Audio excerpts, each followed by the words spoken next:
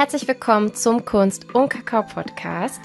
Mein Name ist Alexandra. Mein Name ist Franziska. Und wir tauchen mit spannenden Menschen in die Welt der Kunst und Kreativität ein. Wir möchten zeigen, dass es für jeden kreativen Ausdruck da draußen einen Weg gibt und dass es sich lohnt, dass auch du für deinen Traum den ersten Schritt gehst. Dieser Podcast ist für alle, die bereit sind, über den Tellerrand zu blicken und sich freuen, ihren Farbkasten des Lebens mit neuen Nuancen zu füllen.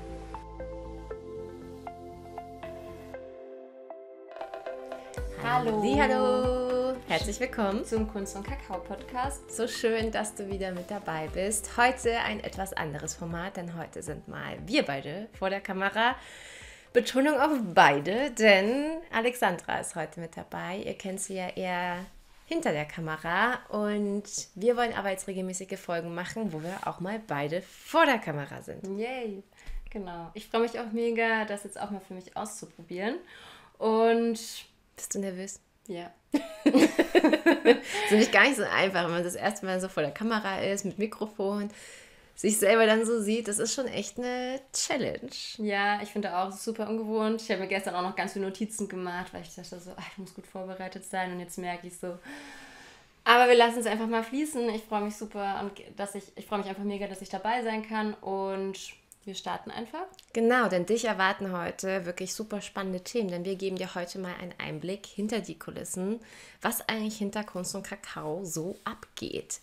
Was wir vielleicht auch, also was wir daran verdienen, woran wir eigentlich die Künstler und Künstlerinnen aussuchen, wie das Ganze abläuft, und was einfach unser Warum ist. Warum machen wir das? Also genau. was motiviert uns, was treibt uns an? Lohnt sich das überhaupt das alles zu machen?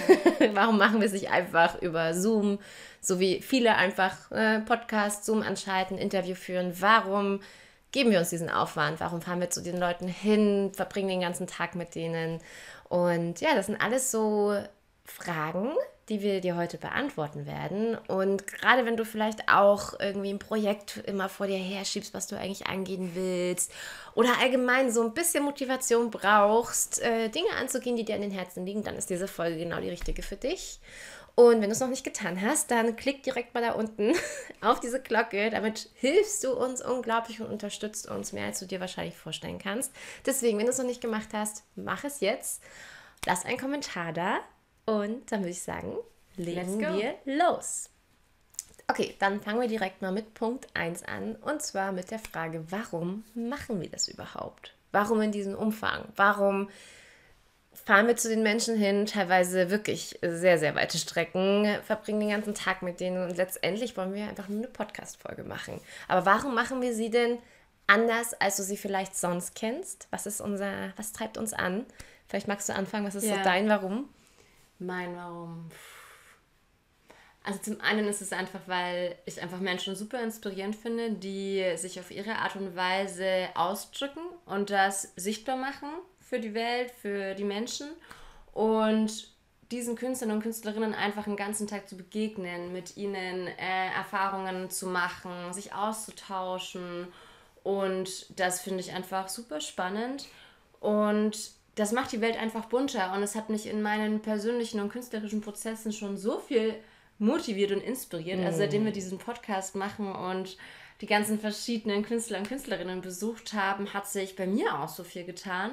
Und dann denke ich mir so, hm, also wenn sich bei mir da vielleicht auch so viel tut, vielleicht kann es dich motivieren, in deinen künstlerischen oder persönlichen Prozessen inspiriert zu werden, motiviert zu werden, ähm, neuen Input zu bekommen, neue Impulse wahrzunehmen und das ist auf alle Fälle ein großes Warum von mir. Ja, ich finde halt auch dadurch, dass wir ja diesen ganzen Tag in so eine andere Energie ja reingehen. Also wir, wir, wir mhm. tauchen ja wirklich in die Welt ja. dieser Menschen ein. Und ich glaube einfach, dass das auch in den Endfolgen am Ende auch wirklich rüberkommt. Also dass mhm. auch du davon etwas abbekommst, weil ich fand auch, wir haben ja auch mal so schön gesagt, eigentlich sind diese Folgen wie so Therapiestunden oder wie Coachingstunden, weil wirklich in uns sich immer unglaublich viel getan hat. Also immer, wenn wir da einen ganzen Tag waren und danach wieder heimgefahren sind, ist wirklich, kannst du dir vorstellen, wie so ein Samen, der sich so in uns eingepflanzt hat und dann so, ja, langsam daraus etwas ähm, Neues entstanden ist. Also es ist wirklich, es hat so nachgearbeitet.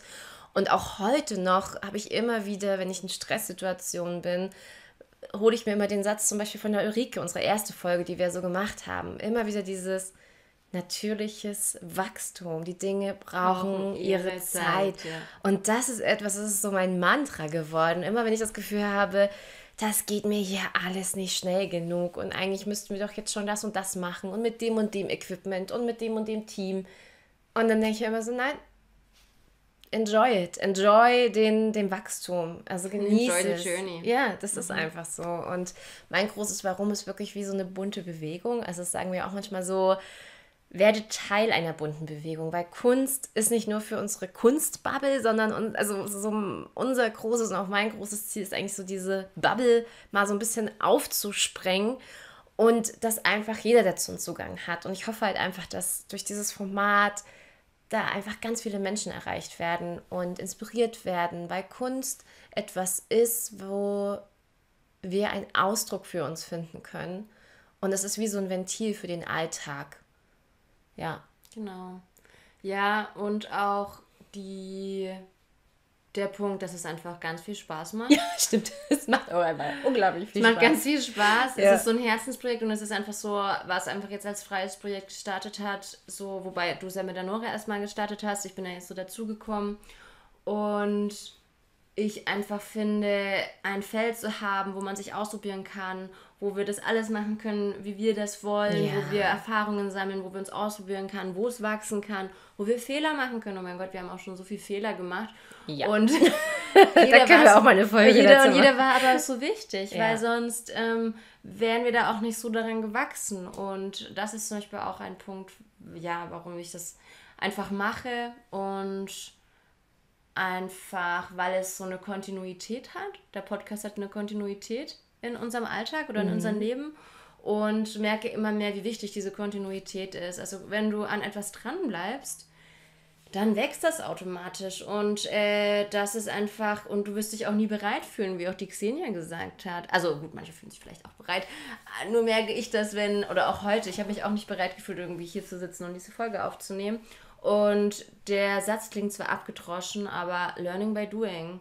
Du wirst einfach dich nie bereit machen. fühlen. Du wirst dich nie bereit fühlen, bis du es das erste Mal einfach gemacht hast. Und dann ist es beim ersten Mal noch ein bisschen so, und es wird von Mal zu Mal besser, aber einfach machen und weg von diesen, uns da manchmal zu viele Gedanken zu machen, es muss perfekt sein oder seine eigenen Ansprüche so hoch zu stellen oder Angst zu haben, Fehler zu machen. Und das, es darf alles sein.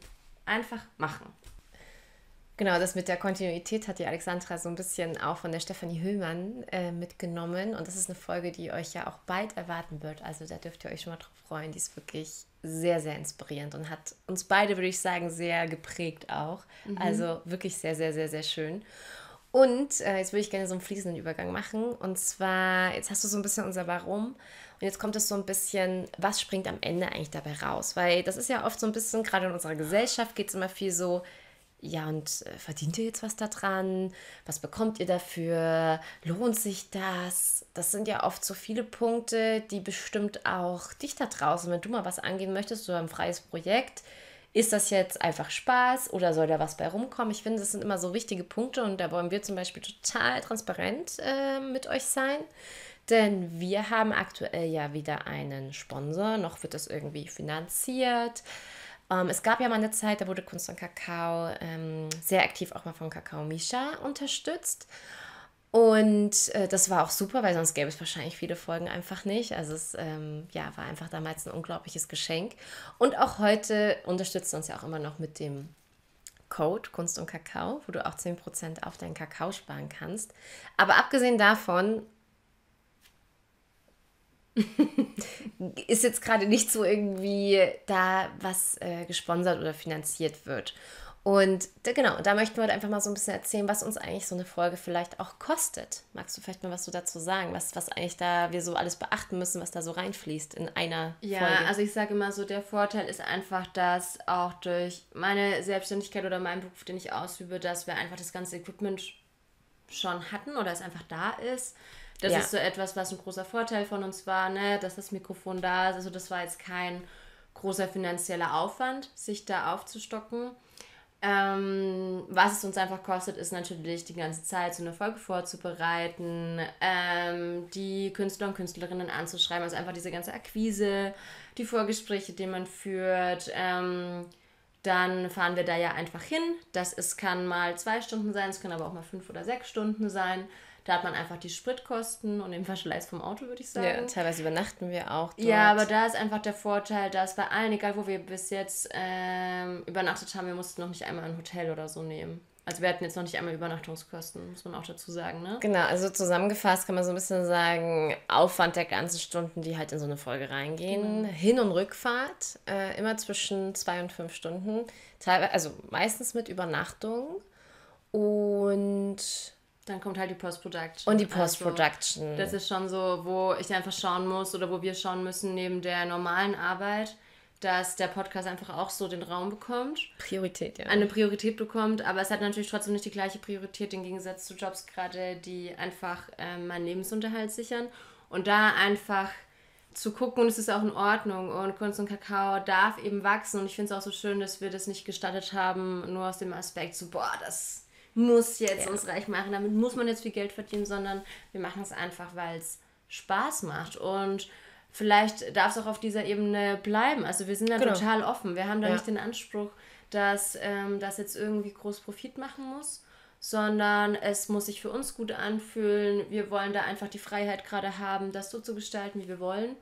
Und das ist halt ja. auch der Vorteil, wenn du von niemandem abhängig bist, kannst genau. du halt das auch alles so machen, wie du möchtest. Und das ist zum Beispiel ein Vorteil, den ich irgendwann immer mehr für mich entdeckt habe, so ein Projekt zu haben, wo, da kann ich jetzt sagen, ich mache das jetzt so und so. Ich will jetzt, dass wir das bei dem Ort machen und nicht bei dem Ort oder dass wir das und das anhaben oder was auch immer. Also ich finde, das ist halt einfach alles so, so eine unglaublich große Freiheit. Und was ich da auch mitgeben möchte an dich ist, das klingt natürlich jetzt unglaublich viel und ich muss auch sagen, so von den Kosten ist es auch einiges. Das da, finde ich, kann man auch nicht wegdenken. Man muss sich das auch leisten können. Aber auch da, es gab bei uns echt eine Zeit, wo wir auch gedacht haben, so, boah, wir kriegen das nicht hin. Wir können das einfach gerade nicht. Und kreativ werden. Also, und vor allen Dingen auch überlegen, brauche ich das jetzt wirklich? Wir hatten zum Beispiel am Anfang dieses Ding, ach, wir brauchen jetzt voll die krassen Hightech-Mikrofone, weil ein Mikrofon, das können wir doch nicht bringen, so. und das, hat, das, das war so voll so, Gott, und dann, dann kam irgendwann meine Schwester, naja, dann machen wir es halt nur mit einem. Und ja, dann das, da so drauf festgefahren. Das genau, das, so das sein, muss ne? jetzt so sein. Und wenn, wenn wir die jetzt nicht haben, dann ist das alles nichts wert. Und da wirklich zu gucken, was brauchst du wirklich und ja. was ist vielleicht nur nice to have, gerade halt um anzufangen. Ja. Und auch mit Sprit haben wir zum Beispiel angefangen, okay, ah, echt viel Geld dann Blablacar. Dann haben, wir halt, dann haben wir halt angefangen, alle Fahrten, die wir gefahren sind, in Blablacar reinzustellen. Und die teuerste Fahrt, die wir uns mal angebrockt haben, war die nach Hamburg, wo wir auf der Hinfahrt geblitzt wurden und auf der oh Rückfahrt. Das war bisher unsere teuerste Fahrt. Ja, das war unsere teuerste Fahrt. Aber auf unser eigenes Verschulden. Genau. Ähm, und dann sind wir halt einfach auch noch die Idee gekommen, dadurch, dass wir ja auch immer die ähm, Künstler und Künstlerinnen im Rahmen von einem Shooting auch nochmal fotografisch festhalten dass, ähm, weil wir brauchen einfach Bilder für den Podcast auch und wir machen dann, haben dann einfach ein größeres Shooting so daraus gemacht, dass da einfach auch Bilder bei rumkommen, die die Künstler und Künstlerinnen vielleicht auch gut für sich selber brauchen können. Genau. Und dass wir die quasi auch, das konnten dann die Künstler und Künstlerinnen im Nachhinein einfach dazu kaufen. Und dabei wurden bis jetzt eigentlich alle unsere Kosten gedeckt, ne, unsere Spritkosten ja. Und äh, das ist super. Bisher also, wurde das immer gedeckt. Genau. Und Übernachtungsmöglichkeiten waren auch so. Einmal haben wir gecampt, bei der Ilka zum Beispiel. Genau, das war richtig das cool. Schön, ja. Äh, und dann haben wir es immer versucht, irgendwie bei Freunden oder Family so ein genau. bisschen zu verbinden. Bisher hatten wir Glück, es lag irgendwie immer ganz praktisch. Es lag immer perfekt gefühlt. Ja. Also, also, ja, aber das ist mal so wirklich ein sehr transparenter Einblick, ja. so was uns das eigentlich auch kostet, ähm, so eine Folge. Und dass aber, wenn ein Wille da ist, auch ein Weg da ist. Und am Anfang ist es einfach machen. Dann macht man es halt mit einem Mikrofon, dann macht man es halt mit noch einer schlechteren Kamera, wenn du jetzt noch keine Hightech-Kamera hast. Also es ist so, einfach anfangen. Ich finde, der Rest ergibt sich dann, und dann eh kann man auch, alleine. Dann kann man auch schön reinwachsen. Einfach. Genau, dann kann man auch reinwachsen. Da sind wir wieder bei diesem natürlichen Wachstum. Genau. Deswegen ganz wichtig, egal was du vorhast, genieß den Weg dahin. Cool. Ja. ja. Nächste Frage ist so ein bisschen dieses, ähm, das hat mich zum Beispiel damals total interessiert, als ich so voll auf Podcast-Recherche war, so ein bisschen, ja, wie machen die anderen das denn so? Wie gehen die denn da vor? Woran suchen die die Leute aus? Mhm. Gibt es dann ganz viele Vorgespräche? Ja, wie, wie ist das so wirklich, wie, wie, wie geht man da so vor? Deswegen ja. möchten wir das heute mit dir teilen, weil vielleicht interessiert dich das ja weil mich hat es immer interessiert. Deswegen. Ja, vor allem man das ja auch nicht so vergleichen kann mit, äh, also du gehst schon in den Punkt Podcast führen, Interview führen und so, da in die Gesprächsvorbereitung würde ich sagen, ist das ähnlich zu anderen Podcast. Ja. Aber dann noch in die Vorbereitung zu gehen. Wie setzen wir es filmisch so, um? Wie setzen wir es filmisch um? Was ist unser Storytelling? Da merken wir auch gerade, das wird sich auch immer weiterentwickeln. Also das finde ich auch so spannend. Genau. Ich bin jetzt gerade beim Schnitt von der Podcast-Folge von der Stefanie Hüllmann und merke auch nochmal so krass, man lernt einfach so viel nach jeder Folge, nach jedem Dreh. Und da bin ich auch nochmal gespannt, wo da die Reise hingeht, so was das Filmische, was das Storytelling angeht, was ja. die ganze Geschichte mit Podcasts und Film. Super spannendes Feld und tausend Möglichkeiten. Und da natürlich auch den Künstler oder die Künstlerin mit einzubeziehen. Äh, das finde ich auch immer ganz wichtig. Und weil da sind auch oft Ideen da, ne? Wie kann man es umsetzen? Total. Und das finde ich auch richtig cool. Und sich halt immer auch Veränderungen dazu erlauben. Also dadurch, dass wir beide eh totale kreative Köpfe sind, glaube ich, würde es gar nicht gehen, wenn man es jetzt mhm. nur auf eine Leinwand irgendwie einsperren würde. Sondern wir brauchen schon so ein bisschen dieses Feld auch der Veränderung. Wir probieren uns einfach total aus. Wir wachsen auch mit jeder Folge. Genau. Ja, und da haben wir uns auch oft schon, auch damit mit den Künstlern Rücksprache gehalten. Was ist dir wichtig für Themen? Was willst du vielleicht mit reinbringen? Dann ganz wichtig immer die Absprache, was sollen sie vorbereiten? Also, dass sie auch wissen, dass ein Shooting stattfindet, dass sie wissen, ah dass ja, wir ganz viele Szenen auch immer vielleicht nochmal neu drehen müssen. Also, dass es einfach auch ein Tag wird, der sehr, und da können wahrscheinlich alle Künstler bisher äh, ein Lied von singen, am Ende von so einem Tag Intens, ne? bist du platt, also das ist wirklich so ein Film- und Shooting-Tag. Es gibt nichts Erfüllenderes. Ne? Ja, es gibt echt nichts Erfüllenderes. Danach ist man wie high, aber auch echt fertig. Ja. also auch echt super kaputt. Und ja. Und ansonsten finde ich halt auch immer total wichtig, dass sich einfach der Künstler, die Künstlerin wohlfühlt. Also was darf ich filmen, was nicht, wie fühlst du dich wohl und vor allem von Anfang an auch immer die Kommunikation.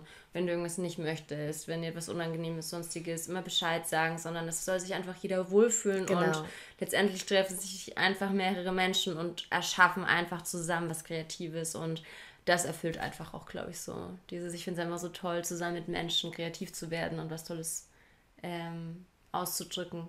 Total. In diesem Format jetzt zum ja, Beispiel. total. Also da lassen wir auch wirklich die, die Künstler auch einen total großen Spielraum. Also die können das so mhm. mitgestalten. Und der eine nutzt es mehr und der andere weniger. Und beides ist da okay. Ja, also total. wir hatten schon, keine Ahnung, die Ilka kam mit so einer Liste, was sie schon alles für coole Ideen hat von Kameraaufnahmen und Schwenks und Situationen und, äh, und andere sagen, ach, macht einfach. So, und beides, beides, ist okay. Beides darf sein. Beides ja. darf sein. Und bisher war es am Ende so, dass man wirklich das Gefühl hat, man hat eine neue Freundschaft geschlossen auf einer gewissen Ebene und man hat einen tollen Kontakt. Und, und dass jede Folge auch total anders werden darf wie die Folge davor. Ja. Also wir gehen nicht so nach Schema F, die Reihenfolge, so und so muss es sein, sondern dass es einfach individuell ist, wie der Künstler oder genau. die Künstlerin einfach auch. Genau. Ja. Und das wäre auch, wir sind ja auch jeden Tag anders und wir dürfen uns jedes Mal neu kennenlernen. Und genauso ja. ist dieser Podcast. Der darf sich verändern. Und ja, ich glaube, wir haben da jetzt ziemlich viel dazu gesagt. Wenn dir noch eine Frage einfällt zu ah, unserer ja, ganzen gerne. Sache, unserem ganzen Prozedere hier, dann schreib uns gerne. Also äh, wir freuen ja, uns über jeden Austausch. Über jeden Austausch, ja. über jede Frage. Deswegen, ja, scheu dich da nicht und nutzt die Kommentarbox. schreib, mir, schreib uns gerne euer, dein Feedback. Okay, dann würde ich sagen, haben wir Kunst und Kakao soweit alle Fragen beantwortet. Mhm, Glaube ich auch. Ich hoffe, du konntest was mitnehmen. Ja. Und jetzt würde ich gerne noch ein bisschen ähm, hier, hier drauf eingehen. Äh, meine hier drauf eingehen. Hier drauf eingehen. meine liebe Schwester Alexandra, denn sie ist ja heute das erste Mal mit vor der Kamera und mit am Mikrofon. Und sonst habt ihr ja mal eher Ausschnitte von ihr so gesehen. Und wir haben ja letztens auf Instagram haben wir ja schon mal so fünf Fan-Fact so ein bisschen über uns geteilt. Ja, genau. Das fand genau. ich ganz cool. Ja. Da war zum Beispiel, wenn du es äh, nicht gesehen hast, dass Alexandra ja schon mit, mit wann hast du das erste Mal die Kamera in der Hand gehabt? Mit 15, mit 14? Ja, irgendwie so. Also wir haben ja auch schon als Kind, wir mussten sagen, wir sind ja mit einem, wir sind auch mit Eltern groß geworden oder beziehungsweise unser Papa Stimmt. hat uns ja gefühlt äh, unsere ganze Kindheit fotografiert und gefilmt. Deswegen so, das war schon immer präsent. Ja. So einfach so festgehaltene Momente in den Händen zu halten, Bilder in den Händen zu halten. Und es geht ja durch die Familie. Also wenn wir Fotoalben zu Hause angeschaut haben von den Familie väterlicherseits gibt es einfach unglaublich viele Fotografien. Ja. Und es war für uns ja normal und ich habe mittlerweile auch so bei meinem Partner festgestellt, es ist gar nicht so normal, dass es immer so viele, äh, so viele Aufnahmen, so viele Erinnerungen gibt, sage ich mal. Und das würde ich sagen, ja, hat schon immer geprägt und dann ist es einfach mit 15, 16 einfach so losgegangen. Ne? Selber am Anfang vor der Kamera, dann habe ich selber mehr Interesse gehabt, ähm, hinter der Kamera zu sein, also zu fotografieren. Und dann wurde es aber doch erstmal die Ausbildung zur Mediengestalterin Bild und Ton. Also eigentlich erstmal in das Bewegtbild. Und während meiner Ausbildung ist es dann aber mit der Fotografie immer mehr geworden, dass ich dann auch in mein Nebengewerbe angemeldet habe und dann ist das so gewachsen. Ähm, genau. Aber dann war ich jetzt auch mal zwei Jahre raus, weil ich in Elternzeit war, wegen meinem kleinen Sohn. Und jetzt bin Alexandra ist nämlich stolze Mama. Ja. ja, also mein kleiner Wirbelwind hat mein Leben ganz schön auf den Kopf gestellt und zum Positiven auf alle Fälle auch. Ähm, genau, und jetzt mache ich das halt aber auch seit fast zwei Jahren wieder so richtig selbstständig. Hauptberuflich. Halt. Hm. Ja, also hauptberuflich, genau. Also neben Familie und Kind so eigentlich dann nebenberuflich. Eigentlich der Hauptberuf, das Kind. Das kind. äh, genau, also es ist immer viel Organisation gefragt so und ähm, das Wichtigste ist einfach ganz viel Zeit für mein Kind und meine Familie. Und meine Passion ist einfach meine, ja, Fotografie und Film. Und hättest du jemals gedacht, dass so, keine Ahnung, wenn dich jetzt jemand gefragt hätte, mhm. ja, hättest du gedacht vor fünf Jahren, Würdest du irgendwann einen Podcast mitführen oder wie? Nee, das auf gar keinen Fall. Also ich habe mir bestimmt schon gedacht, so boah, nochmal mehr einfach in den Bereichen zu wachsen, für die ich brenne. Nur wie das aussieht, hatte ich gar keinen Plan. Und das finde ich so spannend, dass äh, sich ein, dass einfach so viel möglich ist, wenn wir uns einfach auch trauen. Und ich merke, was mir die Selbstständigkeit super gebracht hat, äh, ja, aus meiner Komfortzone zu gehen, einfach weil ich dann oft auch nicht so die Wahl hatte. Mhm. Und es war aber auch gut, weil ich das auch dann gebraucht habe so für mich und merke jetzt auch immer mehr, wie ich da reinwachse, wie sich immer mehr Struktur etabliert, wie ähm, man einfach sicherer wird, auch in dem, was man tut. Und ich liebe es einfach, Momente einzufangen, Menschen einfach festzuhalten. Und zwar halt einfach die Schönheit, die von innen herauskommt. Mhm. und nicht so das, was wir immer so von außen sehen, weil ich finde, die Ausstrahlung oder ob jemand wirklich was transportiert durch die Kamera, das hat nichts mit deinem Aussehen zu tun, sondern es ist das, was von innen herausstrahlt, was ich gerne einfange mit meiner Kamera, weil jeder Mensch hat einfach eine, also hat einfach eine Ausstrahlung und so eine Schönheit und das bewundere ich so an Menschen. Also egal, wo ich auch immer bin und so, und wenn ich Menschen einfach so wahrnehme, denke ich mir so, wir Menschen sind einfach schön. Wir sind manchmal, glaube ich, unsicher oder haben so das Gefühl, uns verstecken zu wollen oder zu müssen. Ähm, zu müssen oder sind so von unserer Mimik und Gestik gewohnt, dass wir denken, ja, das bin ich halt. Und bei der Fotografie oder bei Shootings kommen oft so andere Seiten von den Menschen hervor wo ich merke, so wow, richtig cool einfach. Und ja, das liebe ich. Ja, Bewegtbild und Fotografie, beides. Das, ist ja auch, ähm, dadurch, dass ich, meine Schwester Fotografin ist, ist es einfach so, wenn ich was genug von mir habe, ist auf jeden Fall Bilder, weil immer wenn sie irgendeine Idee hat oder mit irgendeiner coolen neuen Idee um die Ecke kommt, dann kannst du dafür mal Model stehen. Ja, okay.